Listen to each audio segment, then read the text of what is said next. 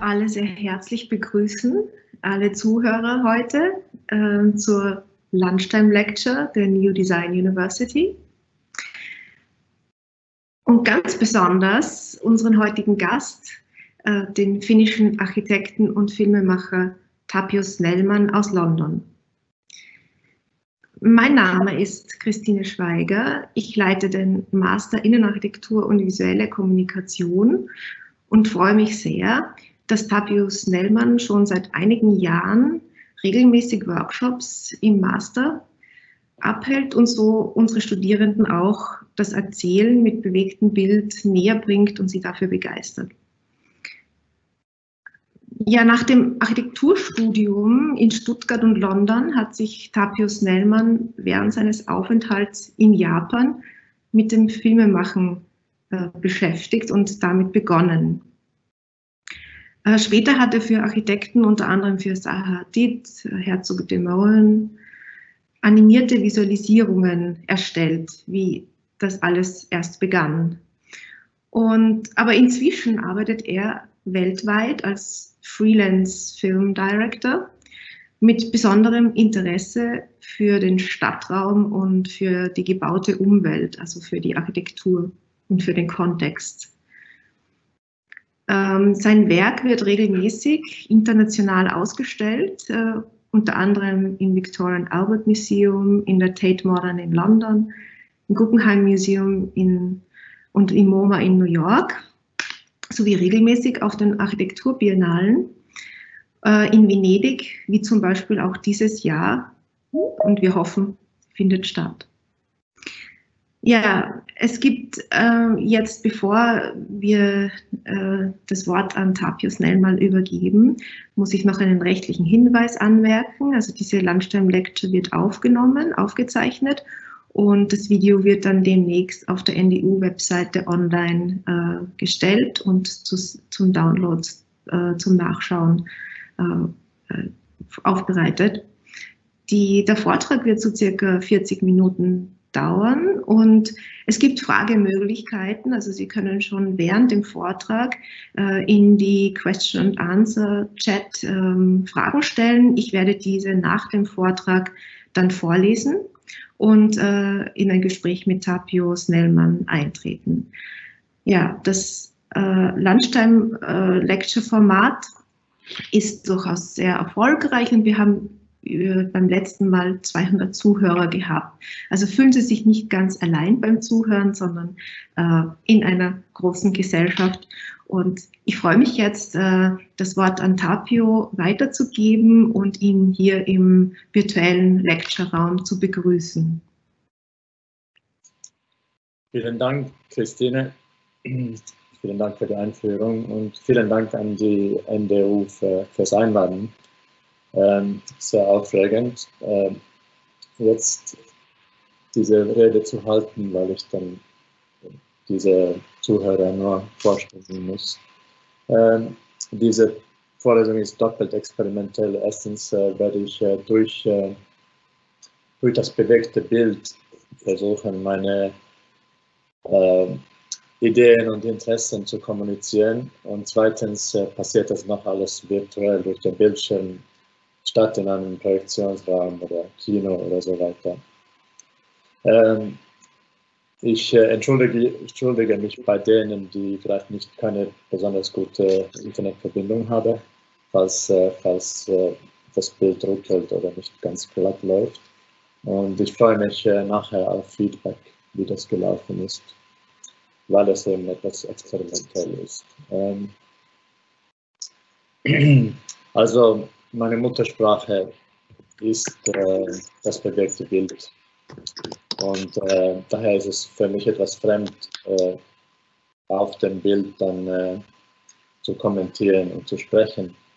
Besonders weil ich dem, immer den Studenten das nicht zulasse, wenn sie ihre Filme vorstellen dürfen, die dazu nicht keine Aussagen machen, sondern der, der Film muss selber die Aussage haben. Aber bei mir ist es jetzt anders, weil es gibt mir die Möglichkeit dann zu erklären, was mir in dem Zusammenhang wichtig ist. Ähm, Mein Thema bezieht sich also auf äh, das Erhalten von Bestand in der Architektur. Ähm, der Hintergrund dazu ist, dass ich jahrelang, äh, wie gesagt, äh, Filme und Animationen erzeugt habe, die sich mit ikonischen Neubauten beschäftigt ha haben. Und äh, dabei persönlich war ich immer mehr interessiert in dem Kontext von Architektur als in den Bauten als Objekte. Äh, das ist wahrscheinlich auch einer der Gründe, warum ich dann Filmemacher geworden bin, statt, äh, statt Gebäude zu entwerfen als, als Architekt. Äh, also anhand von zehn äh, Filmbeispielen, Teilen von kleinen Filmen, äh, versuche ich meine Faszination mit der Neubelebung von alten Bauten und Städten äh, beschreiben. Dabei ist für mich die Nachhaltigkeit äh, nicht nur im Sinne von Umweltbewusstsein wichtig, sondern besonders im Sinne von Kultur. Weil äh, Neubauten überall auf der Welt sind zunehmend ähnlich und äh, beziehen sich oft wenig auf die Lokalität. Und bei Abreißen wird oft Geschichte und Kultur verschwinden. Andererseits wird bei Umbau die Geschichte gestreckt. Äh, kulturelle Nachhaltigkeit, wie gesagt, bedeutet für mich, dass jedes Bauprojekt mit dem Bestand, Bestand anfangen sollte. Und nur wenn man sichergestellt hat, dass der Bestand nicht benutzbar ist, sollte Ab Abreißen erlaubt sein. Also ganz spielerisch, äh, die sich mit äh, im After Effects oder Premiere, Adobe Premiere gearbeitet haben, kennen sich vielleicht aus mit Time Remapping. Auf äh, Deutsch heißt dieses Wort Time Remapping Zeitverzerren. Ähm, und äh, was ist äh, Time Mapping? Es ist die Methode, innerhalb von einem Filmclip die Zeitkurve so zu manipulieren, dass Teile verlangsamen und andere, andere, andere sich beschleunigen. Äh, und hier ist ein Beispiel dafür.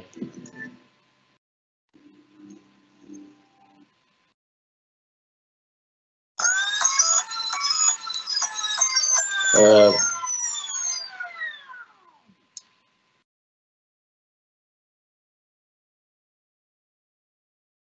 und so ist es eigentlich mit Filmemachen überhaupt. Äh, jetzt läuft dieses Video nicht glatt, deswegen sieht es nicht so wie gemeint aus.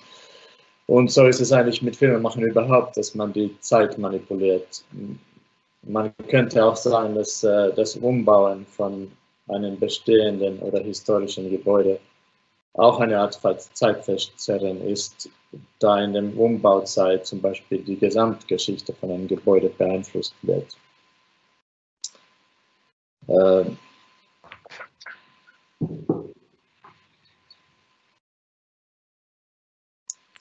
das äh, erste Projekt, äh, mein erstes Beispiel ist äh, für mich ein ganz toller Beispiel dafür, wie man ein erfolgreiches Gebäude mit ganz neuen Nutzungen entwerfen kann, ohne Bestand zu zerstören. Äh,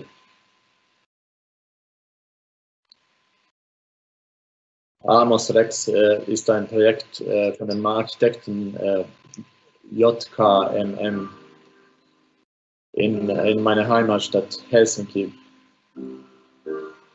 und wurde vor zwei, zwei Jahren eröffnet. Äh, in dem Projekt wurde ein äh, neues Museum unter einer 30er Jahre Busbahnhof und Kinogebäude begraben. Gleichzeitig ist ein neuer städtischer Platz entstanden und die Lichtrichter herum, äh, die die unterirdischen Galerien beleuchten, sind dann belebt von, von städtischen Benutzungen. Und äh, dabei ist ein, ein fast unbenutzter Ort einer beliebtesten öffentlichen Räume der Stadt Helsinki geworden. Der hat auch den Preis von dem besten Museum weltweit letztes Jahr gewonnen. Hier sieht man, wie dieses äh, alte Busbahnhof von der 30er Jahre modernistischer Bau dann diese, diese Licht, äh, sozusagen äh, entrahmen. Und gleichzeitig wurde auch diese 30 Jahre Kino restauriert, so dass es genauso ausschaut, wie es, es gemeint war in den 30er Jahren. Und äh, wie gesagt, wird dieser, dieser neue städtische Raum dann total von den äh, Einwohnern von der Stadt um, umarmt und benutzt. Und äh, obwohl die, die geometrischen Formen ziemlich gefährlich sind, äh, lassen, sich, äh, lassen sich die Eltern, die Kinder da überall draufklettern. Und äh,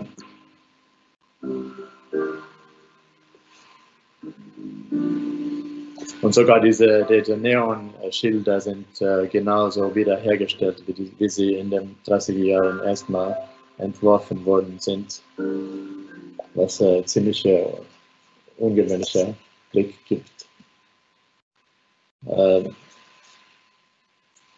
das zweite filmdokumentierte Gebäude von der sozialistischen Zeit in Rumänien. Ich fand äh, Ruinen von verkommenen politischen Systemen immer schon spannend. Und die Frage, wie man mit, der, mit dem Narben umgeht, ist, ist finde ich sehr faszinierend.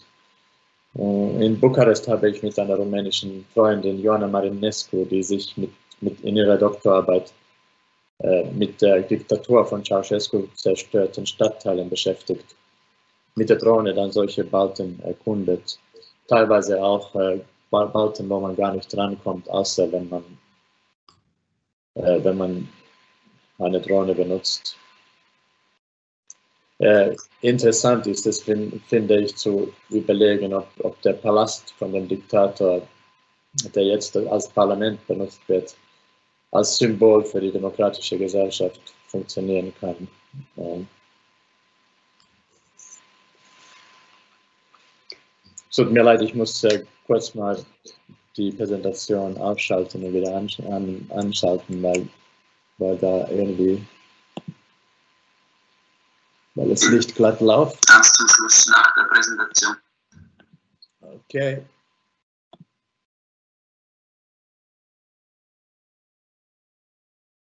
Okay, ich glaube, das äh, läuft jetzt besser. Tut mir leid.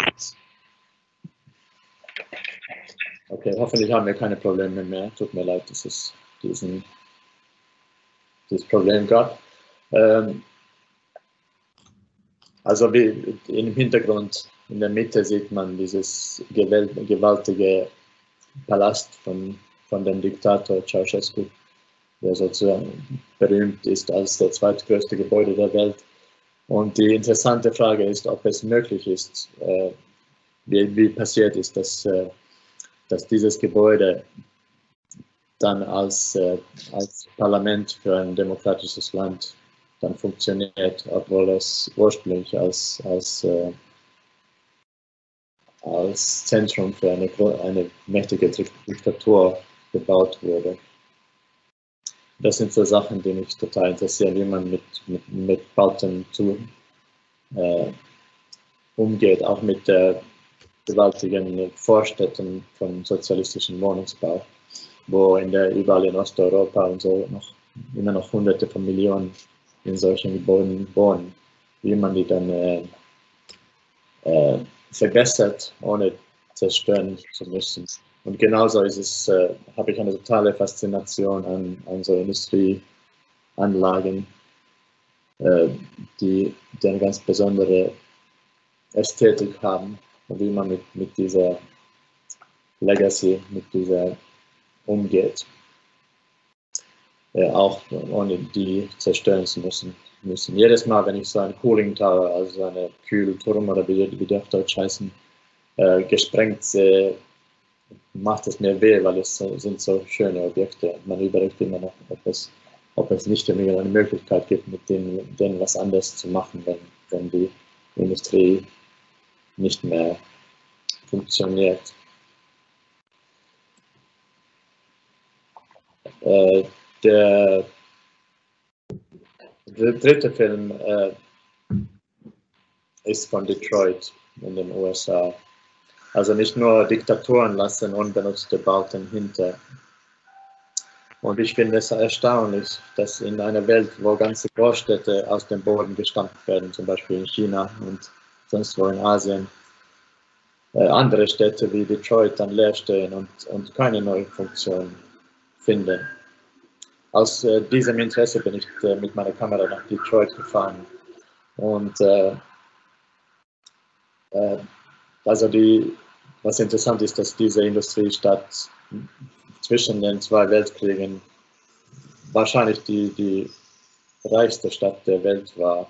Und äh, nachdem dann die Autoindustrie nicht mehr dort stattfand fand und so weiter, äh, kamen viele soziale Probleme und die Stadt ist fast sozusagen äh, aufgehört zu existieren. Eine Million weniger Leute haben dort gewohnt als davor.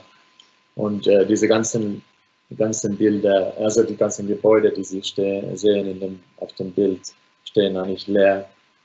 Und die Straßen sind natürlich leer. Und das, das äh, lustigerweise ist es ja für uns zurzeit nicht so außerordentlich, leere Städte zu sehen. Aber die Vorstellung, dass in den Häusern auch nichts mehr passiert und dass, äh, dass die ganzen Firmen geschlossen worden sind und dass da teilweise viele Gebäude dann auch äh, zerstört worden sind, abgebaut worden sind, als äh, ist äh, für mich so eine mysteriös, aber auch so eine romantische äh, Situation, was mich sehr imponiert hat.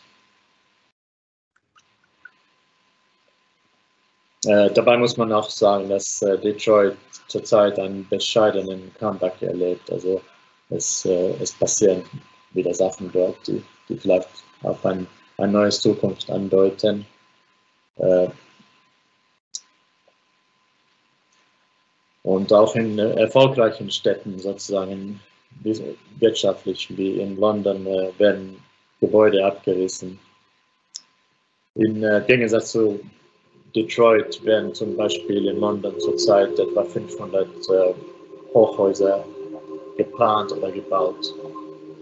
Und, äh, und ganze Nachbarschaften werden, äh, werden äh, zerstört und äh, auch, auch abgerissen und ersetzt mit, mit, äh, mit diesen Wohntürmen. Und ein, ein, Beispiel dafür ist diese Wohnsiedlung Robin Hood Gardens, die in den 60ern von Alison und Peter Smithson äh, entworfen war. Und der gilt als einer der wichtigsten Wohnsiedlungen der Brutalismus, der Ära von Brutalismus. Äh, jahrelang haben Architekten dann überall auf der Welt Kampagnen gestartet, um, um, um für den Denkmalschutz von, diesem, äh, von dieser Wohnanlage zu, zu kämpfen aber, aber eine Art sozialer Niedergang in diesem Estate, diesem Wohn, Wohn, bei dieser Wohnanlage hat das dann das darauf geführt, dass die, die Stadt es verkauft hat an, an privaten Immobiliengesellschaften. Und äh, kurz bevor der, der Abbau von diesem, diesen zwei Gebäuden anfing, habe ich dann das noch filmen können. Das, das auf der linken Seite hat jetzt eine Verlängerung gekriegt von zwei Jahren, aber dieses auf der rechten Seite existiert nicht mehr. Und, äh, und das ist halt auch eine, eine große Frage, ob man wirklich nichts anderes hätte machen können, um das äh, wirtschaftlich äh,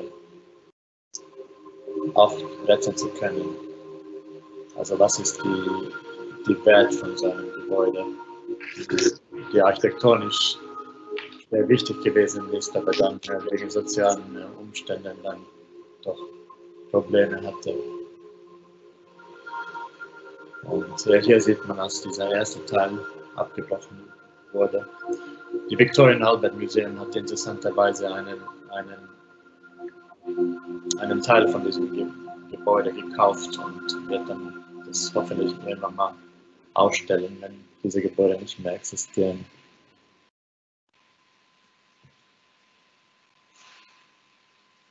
Äh, auch im kleineren Maßstab gibt es äh, immer die Wahl, ob man ein Gebäude ersetzt oder umbaut. Äh, genauso wertvoll wie eine Stadt zu retten ist, auch, ist es auch kleinere Bauerben, mit kleineren Bauerben sparsam umzugehen. Dieses äh, Collagehaus, wie es sich nennt, ist ein, eine äh, Werkstatt in dem äh, Westen von London, der dann äh, umgebaut worden ist in mein Familienzuhause von dem Architekten und Soziologen äh, Jonathan Taki, der da auf der rechten Seite kurz zu sehen war. Ähm, oft, wenn ich private Wohnhäuser filme, wie in diesem, diesem Fall, das erste Mal, als ich hinging, äh, hat der Jonathan Taki mir einfach die Schlüssel gegeben und ist rausgegangen. Hat mir sozusagen für den ganzen Tag das Haus zur Verfügung gestellt. Und oft äh, ist man dann alleine in einem Haus, den man nicht kennt und, und versucht dann eine Geschichte zu erzählen, wie dieses Haus funktioniert oder was es aussagt. Und oft muss man dann auf Geistern denken, die dort vielleicht immer noch wohnen. Besonders, besonders wenn es ein historischer Haus ist. Äh, was für Leute haben doch dort dann, äh, waren dort tätig. Und für mich äh, hilft dann diese Geisterwelt, imaginäre Vorstellung von Leuten, die dort mal waren, dann, dann eine Geschichte zu erzählen von, von dem, wie man durch dieses Haus sich bewegt. In diesem Fall hat meine Assistentin äh, dann diese, eine, einen Geist gespielt und hat, hat mich dann durch das Haus geführt. Ein, ein anderes beka bekanntere Beispiel für umgebautes, um ein um, umgebautes Wohnhaus ist das Haus von Richard und Ruth Rogers, äh, auch in London in, in Chelsea. Richard Rogers ist also der Architekt von zum Beispiel äh, Centre Pompidou in Paris und Ruth Rogers ist einer der berühmtesten Kochköche oder Chefs in, in England und äh, besitzt das äh, River Café. Und äh, die haben in den 80er Jahren äh, zwei äh, Georgian Terrace Houses, also zwei Reihenhäuser, gekauft und zusammengeschmolzen und äh, entkernt von innen und einen äh, gewaltigen Innenraum geschafft. Und äh, dieses, äh, dieser Film ist eine, eine von einer Serie von mehreren Filmen, die sich mit, äh, mit dem äh, Verhältnis von Hauseigentümern zu ihren Häusern befasst. Und ich lasse das laufen, das ist zwei Minuten lang. The space can be as quiet and as meditative as you want it, or it can be a piazza.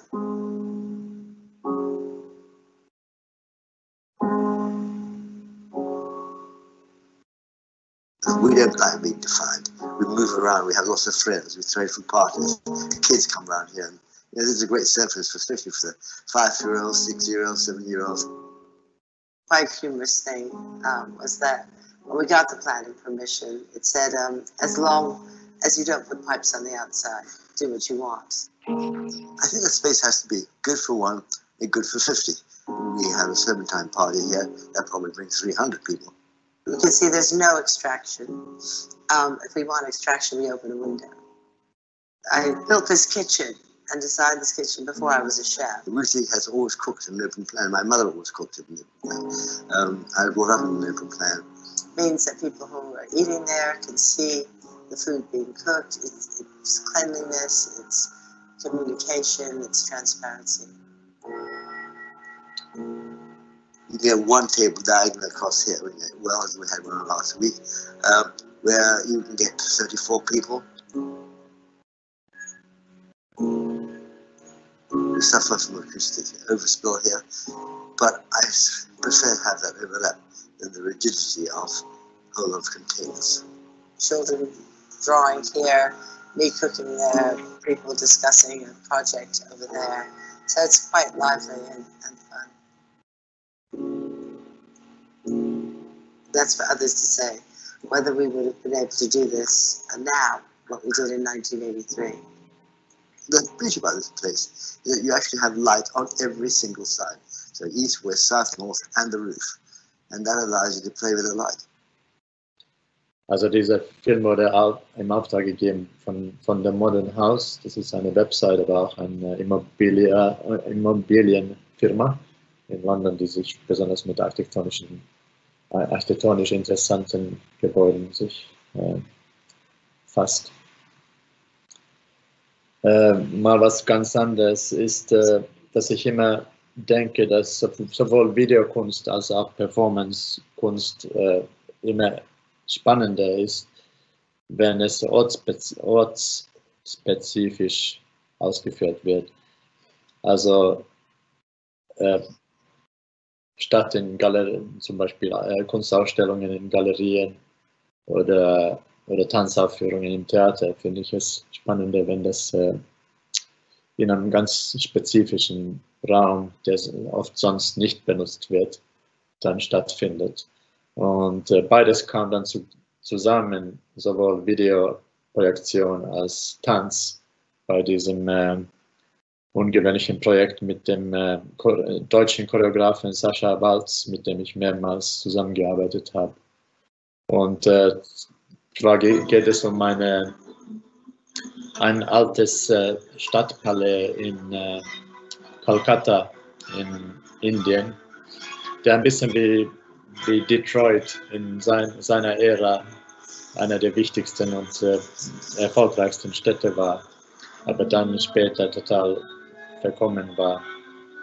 Und äh, die Sascha Walz, die produziert halt ihre Hauptwerke in, so auf großen nationalen Bühnen.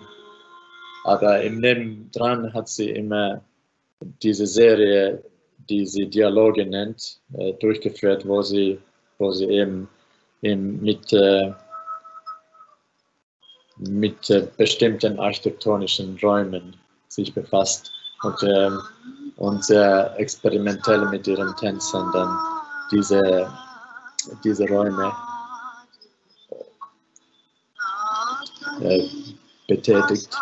Und äh, zum Beispiel in dem Fall habe ich äh, mehrere Projektionen zu dem als so Brücke zwischen Gebäude und Tanz erstellt. Äh, diese hier war zum Beispiel ein, in einem Raum, wo man nur durch diese Fenster äh, die Projektion gesehen hat. Und, äh, und, äh, und dann habe ich aus alten bengalischen Filmen Teile geschnitten, die ich dann in diesen alten Räumen projiziert habe. Und, äh, und dann ist die, äh, integriert dann dieser Tanz mit dem Bild und mit dem Gebäude in einer etwas unkontrollierbaren Weise. Aber es war ein ganz tolles Projekt. Äh, hat drei Wochen, alles ist in drei Wochen passiert. Äh, von Entwurf bis zur Aufführung. Wir hatten schließlich nur drei Aufführungen. Und, die, und zum Beispiel dieses Bett, den man auf dieses Bild sieht, hatte noch Bettwäsche drauf, aber keiner war 50 Jahre lang auf dem Bett geschlafen.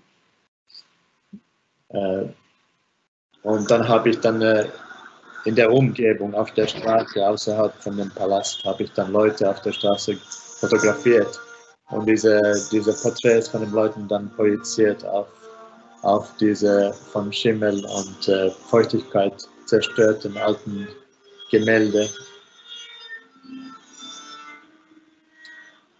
Und das war spannend auch in der Hinsicht, weil in Kolkata gibt es äh, äh, wenige Leute, die sich äh, früher mit, mit äh, modernen oder radikalen Tanz sich beschäftigt haben und dann das in, auch in so einem historischen Ort zu, vorzustellen, war ziemlich ein Ereignis. Und äh, was für mich wichtig war, dass man, dass ich auch eine, irgendwie eine Connection gemacht habe von, von diesem Gebäude auf die Straße. Und ich habe dann auf der gegenüberliegenden Straßenseite äh, einen Teil von diesem Tanz dann projiziert. So dass, dass es dann äh, für, die, für die weitere äh, Stadtteil auch dann spürbar ist, was in diesem Haus eventuell passiert.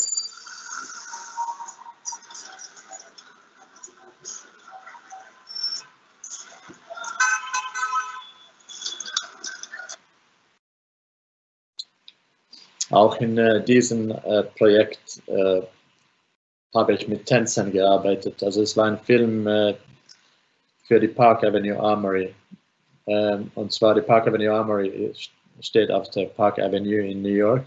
Es ist ein historischer Gebäude, der, der traditionelle der Militärhauptsitz von New, New York City gewesen ist.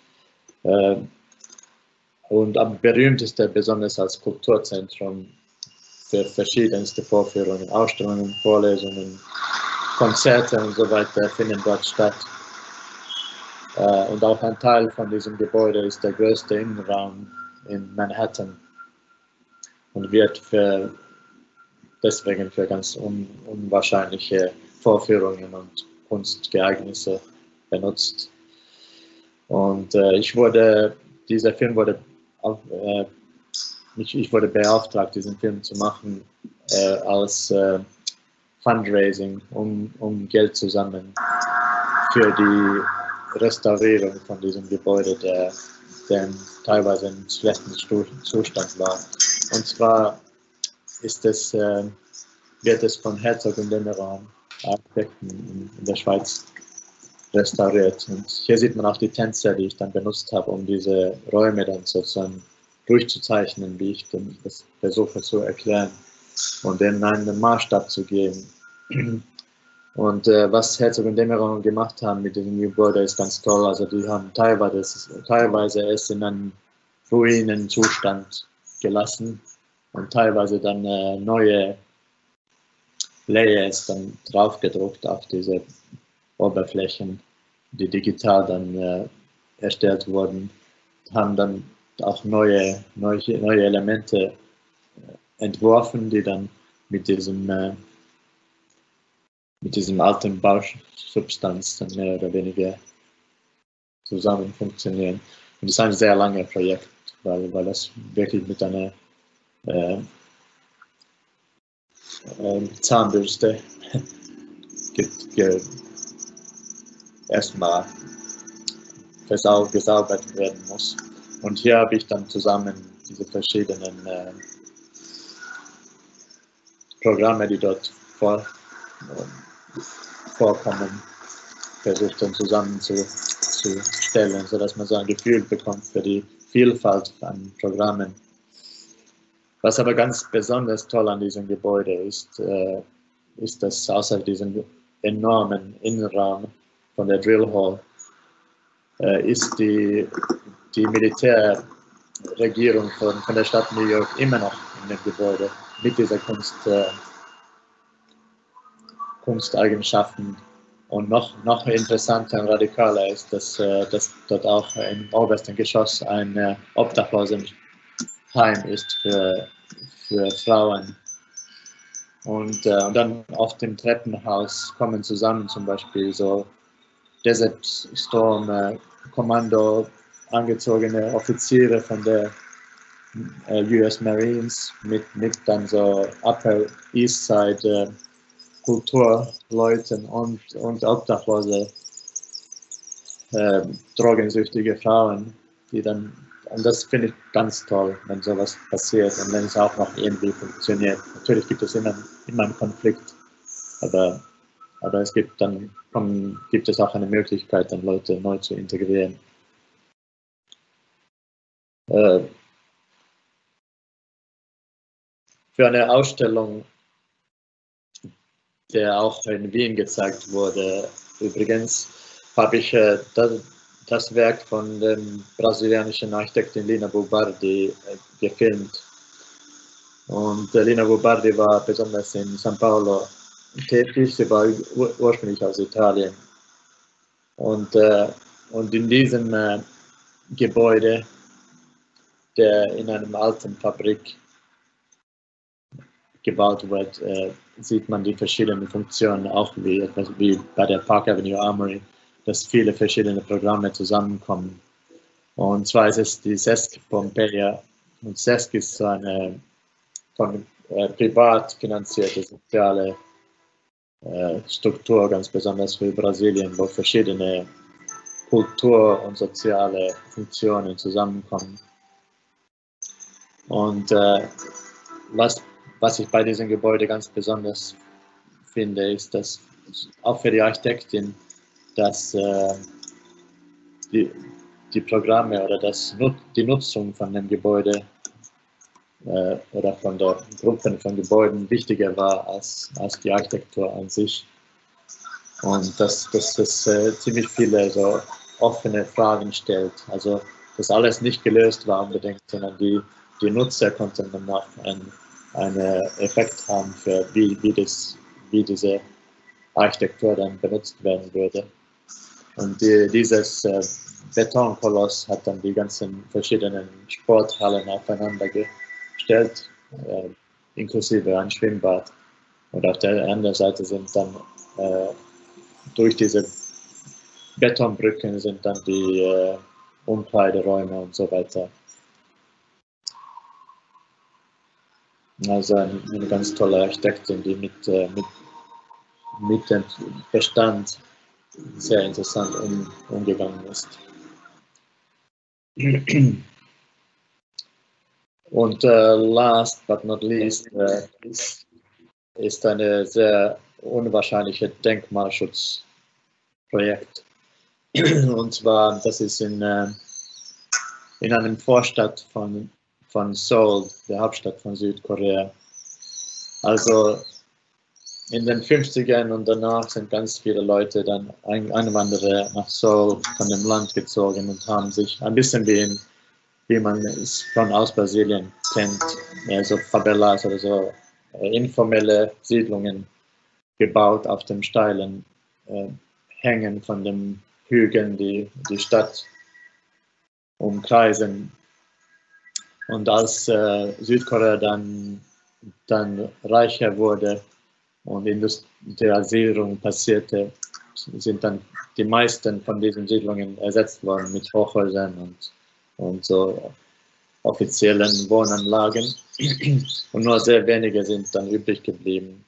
Und interessanterweise hat der Stadtarchitekt dann gemerkt, dass es nur, nur, nur wirklich nur einer von diesen äh, Moontowns oder, oder Dörfern dann noch übrig geblieben ist und entschieden, dass man das eigentlich äh, schützen sollte, dass das nicht zerstört werden sollte. Also das ist wahrscheinlich der erste Slum in der Welt, die dann sozusagen künstlich dann gerettet wird. Aber dann hat er auch dann einen Architekturwettbewerb erstellt, wo Architekten dann gefragt wurden für, für Lösungen, wie das dann auch äh, nachhaltig äh, wirtschaftlich auch funktionieren könnte und wie man die was man davon lernen kann, von dieser Ästhetik, von diesen Hütten, die aus verschiedenen Materialien gebaut worden sind. Und wie man das äh, zurzeit wohnen wird, sind viele von diesen Hütten auch leer und es wohnen hauptsächlich alte Leute in, in diesem äh, Stadtteil, der, der dann, äh, die dann äh, das ziemlich schwierig finden mit diesen äh, steilen Hängen und, äh, und ich wollte das, äh, dieses, äh, als ich diese Geschichte gehört habe, wollte ich das unbedingt dokumentieren, bevor das entweder zerstört wird oder ersetzt wird mit einer, einer neueren Version oder einer mehr, mehr kontrollierten Version von diesem Dorf. Und äh, wie viele von meinen Projekten äh, auch manche, die ich jetzt gezeigt habe, die sind eigentlich nebeneinander entstanden. Also auch in Korea hatte ich dann einen äh, kommerziellen Film, den ich dann dort gedreht habe, äh, der bezahlt wurde. Und, äh, und so nebenan habe ich dann, habe ich immer vor, dann das, was mir persönlich wichtig ist, dann zu dokumentieren. Und, und viele von diesen Filmen und Materialien und Sachen, die ich dann produziere, ähm, bleiben dann leider in der untersten Schublade sozusagen äh, und, und werden dann äh, auch dann nicht, nicht gezeigt, weil ich nicht weiß, wie man das dann weiterführt. Aber desto schöner ist es jetzt gewesen, das mit euch teilen zu können. Und äh, damit äh, bedanke ich mich. Mhm. Vielen Dank. Äh, vielen Dank, Tapio, für diesen ähm, sehr aufschlussreichen, inspirierenden Vortrag. Ähm, ich äh, sehe, dass, das ein, äh, dass du einen Dialog äh, mit Orten führst, äh, der Stimmungen, Details, ähm, aber auch einen Überblick, also über den Drohneneinsatz äh, bietet und somit eine sehr also hervorragende Möglichkeit, Orte zu erzählen bietet.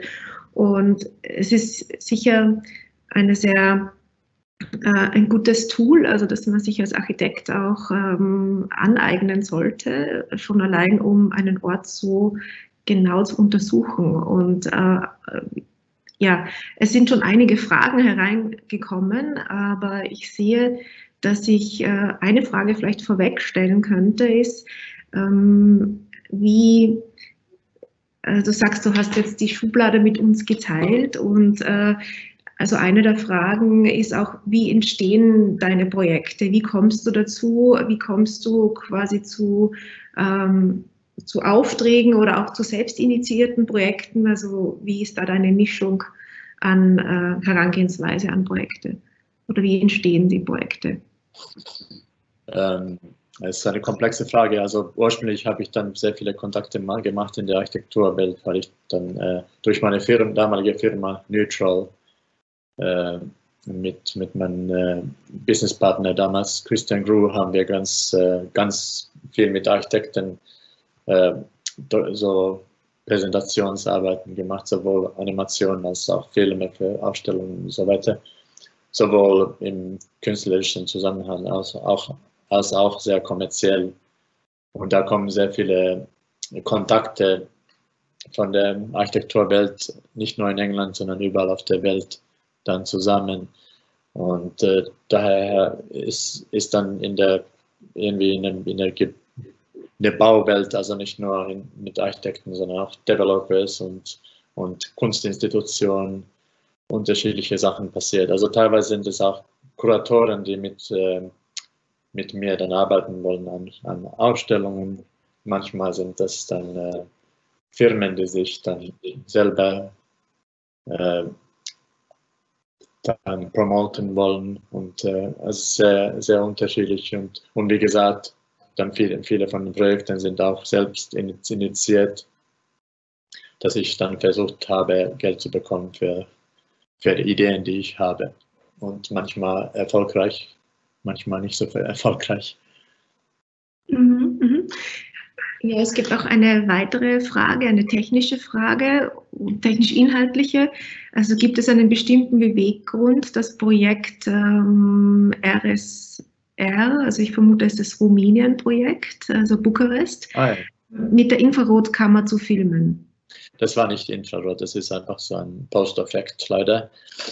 Aber ich wollte damit ähm, äh, nicht nur, dass es cool ausschaut, aber das äh, damit sagen, dass man das irgendwie analytischer und so nicht als Realität anschaut, sondern eher so versucht, so wie ein X-Ray, wie ein Röntgenbild, dann, dass man das äh, so wissenschaftlich dann, das hat, hat da einen ein Einfluss, wie man das Bild anschaut und wie man das versteht.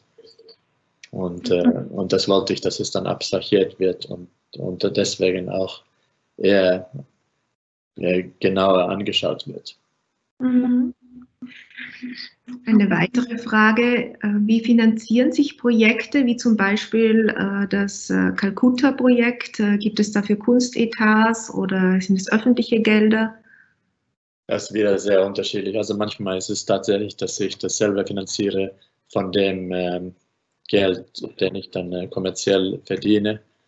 Und manchmal, wie, dieses Kalkutta-Projekt war, war ganz toll finanziert vom Goethe-Institut bezahlt. Mhm. Also äh, alles war bezahlt von, von einer, einer Institution. Und dann äh, zum Beispiel die, diese Ausstellung äh, über Lina Bubardi, Lina Bubardi Together, die dann in zwölf verschiedenen äh, Städten überall auf der Welt gezeigt wurde. Äh, die Arbeit wurde dann finanziert von einem äh, Sponsor, in dem Fall eine Möbelfirma, italienische Möbelfirma Arper und äh, ist dann, dann kommerziell äh, gesponsert worden, aber ist dann doch eine freie, kreative äh, Ereignis. Also diese Möbelfirma Arper hat auch den ähm, berühmtesten Stuhl von Lina Bobardi, also eines von ihren Möbelstücken produziert. Äh, ja. Der Bowl Chair, den ihr seht hier mit dem Lammfell drinnen. Genau. Ähm, das ist ein Metallgestell, äh, das eben eine ähm, Leder äh, Form drauf hat und diese, diese Bowl oben kann man eben in verschiedene Positionen äh, drehen ja, und somit auch die Sitzposition verändern. Und dieser Stuhl äh, wurde eben wieder neu aufgelegt von der Firma Arper und im Zuge dieser Neuauflage des limitierten, der limitierten Möbelserie ist diese Ausstellung dazu produziert worden. Genau. Und die war im AZW äh, zu sehen. Ähm, so haben wir uns auch kennengelernt. so habe ich Tapio Snellmann auch das erste Mal getroffen.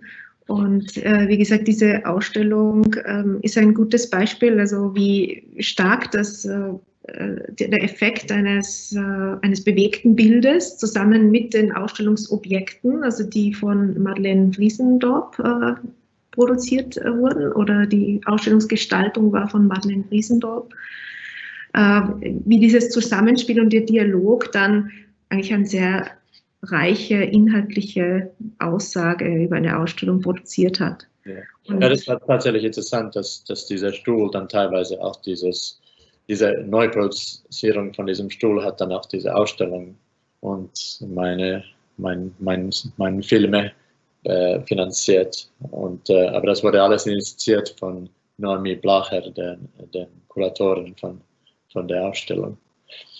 Mhm. Mhm.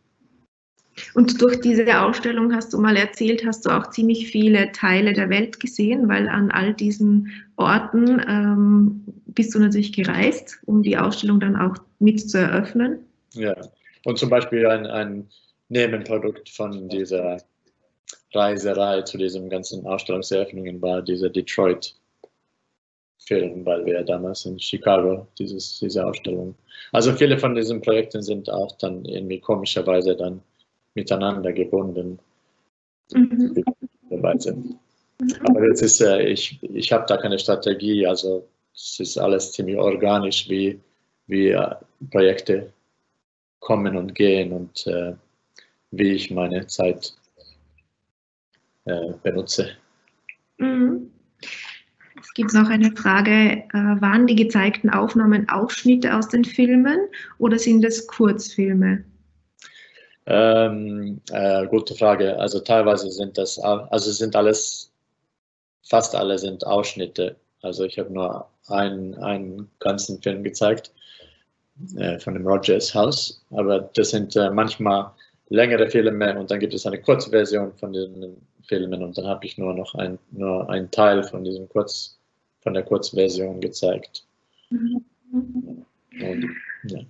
Ja, Tabio hat eine Linkliste zusammengestellt von den ähm, Kurzausschnitten, die in den Filmen, also die im Vortrag gezeigt worden sind.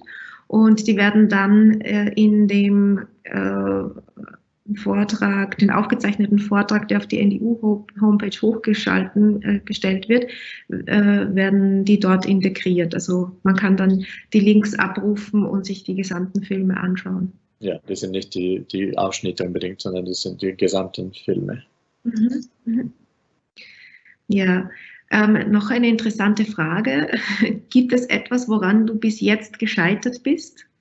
Ach, das meiste, wirklich. Also, ja, viele, viele Sachen, die man auch einfach ausprobieren muss und dann, wo, wo man merkt, dass äh, andere das besser können oder so. Aber man lernt immer dazu und äh, muss einfach offen bleiben und glauben, dass, das, dass man besser wird und dass das nächste Mal besser funktioniert. Und es sind auch manchmal konzeptionell Sachen, die man anfängt und denkt, ja, das ist eine ganz tolle Idee, aber irgendwie, wenn man weiterkommt mit der Idee, dann merkt man, dass es eigentlich nicht funktioniert oder keinen Sinn macht oder dass andere Leute das nicht nicht so verstehen, wie du das selber verstehst. Und dann ist es sozusagen, hat man das Gefühl, dass man Zeit verschwendet hat oder nur für sich selber dran arbeitet und geht, geht die Arbeit eben in die Schublade.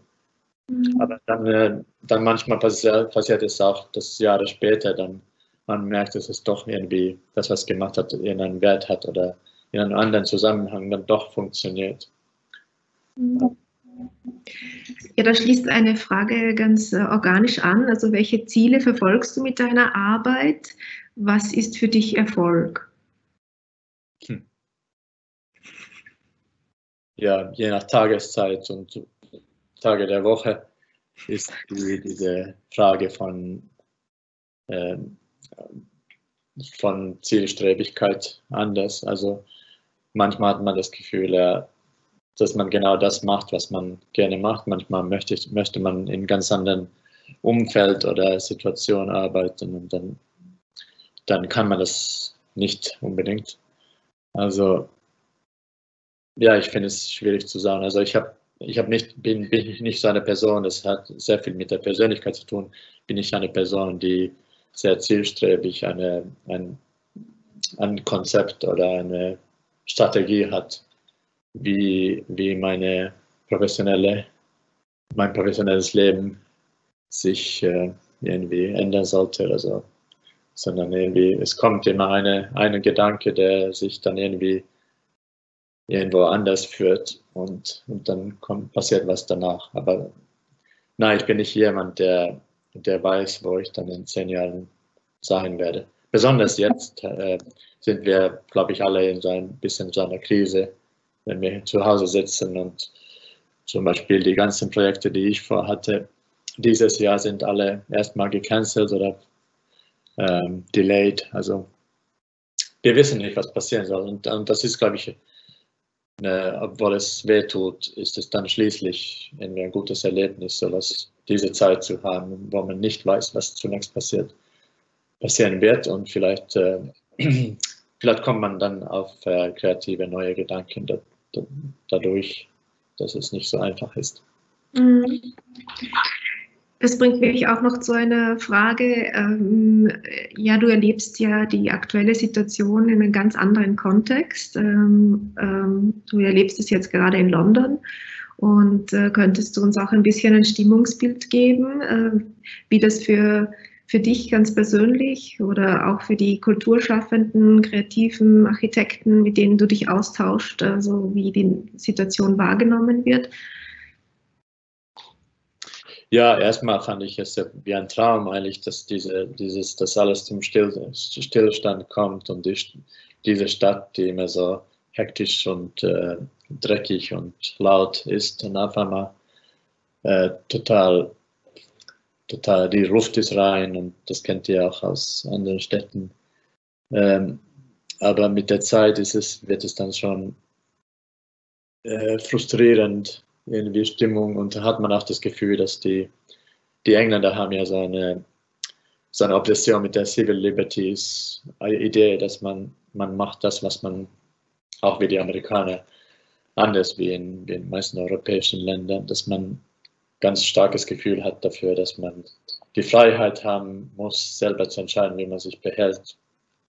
Und für, für viele Engländer ist es deswegen unmöglich, so eine Situation, wo, wo es so Regeln gibt, wie wann man ausgehen darf und wie man sich verhalten muss. Und deswegen ist es hier auch die, die Situation mit, der, mit dem Virus schlimmer als, als sonst wo in Europa. Ich, hat viel mit dieser Kultur zu tun dass, dass man mhm. sich nicht, nicht so benimmt, wie, wie, wie man sich benehmen sollte. Und das, das hat ja auch was Kreatives und Schönes an sich, aber in, de, in diesem Moment ist es tragisch, weil, weil es die der Kosten so hoch sind. Also, also, ja, so persönlich äh, ja, habe ich äh, eben nicht nur wegen diesem, diesem Vortrag, aber auch sonst in meine Schublade geschaut und äh, habe mich mit alten, älteren Projekten beschäftigt, auch Sachen, die ich nie richtig äh, fertiggestellt habe. Und dann habe auch für die Zukunft irgendwie Sachen geplant, die, die ich nicht weiß, was da, da, da, da folgt. Mhm. Ich finde, das ein, ein sehr, sehr, sind sehr gute Schlussworte. Ich ähm, habe jetzt so alle Fragen durch und habe jetzt hier noch vielleicht auch noch eine, ein schönes Schlusswort von einer, die zugehört hat, von einer Kollegin. Äh, sie bedankt sich für die imaginäre Weltreise, die du mit uns hier äh, gemacht hast. Das war ein, ein Ausflug in ganz andere Welten, äh, die wir hoffentlich auch wieder äh, bald besuchen können. Und äh, ja, bedanke mich für den Vortrag und ähm, darf jetzt auch den nächsten Vortrag nächste Woche ankündigen. Und zwar am 14.05.